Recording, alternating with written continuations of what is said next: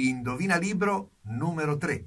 A parlo dunque sono, non solo cerchiamo belle parole, letture interessanti, un modo armonico di confrontarci con la parola scritta e renderla viva, ma andiamo proprio a identificare dei libri importanti che magari avete letto anche voi o sui quali voglio sollecitare la vostra attenzione. Poi voi mi direte se indovinate quali libri sono. Partiamo.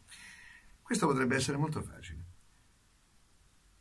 Il signore e la signora Darsley di Private Drive numero 4 erano orgogliosi di poter affermare che erano perfettamente normali e grazie tante.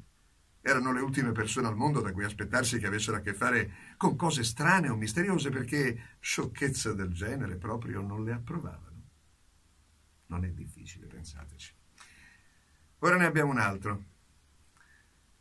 Se io debba risultare l'eroe della mia vita se questo posto debba essere tenuto da un altro, lo mostreranno queste pagine.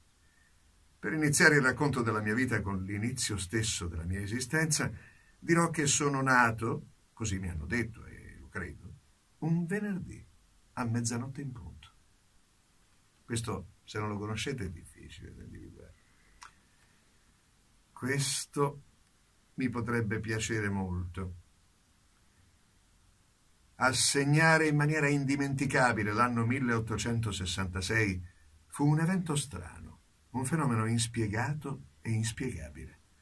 Per non parlare delle voci che agitavano le popolazioni dei porti, che sovreccitavano l'animo del pubblico della città dell'interno, fu la gente di mare ad essere particolarmente preoccupata.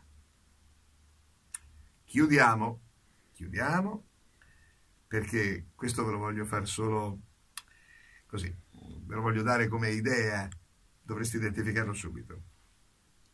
In un paese della Mancia, di cui non voglio fare il nome, viveva, or non è molto, uno di quei cavalieri che tengono la lancia nella rastrelliera, un vecchio scudo, un ossuto ronzino e il levriero da caccia.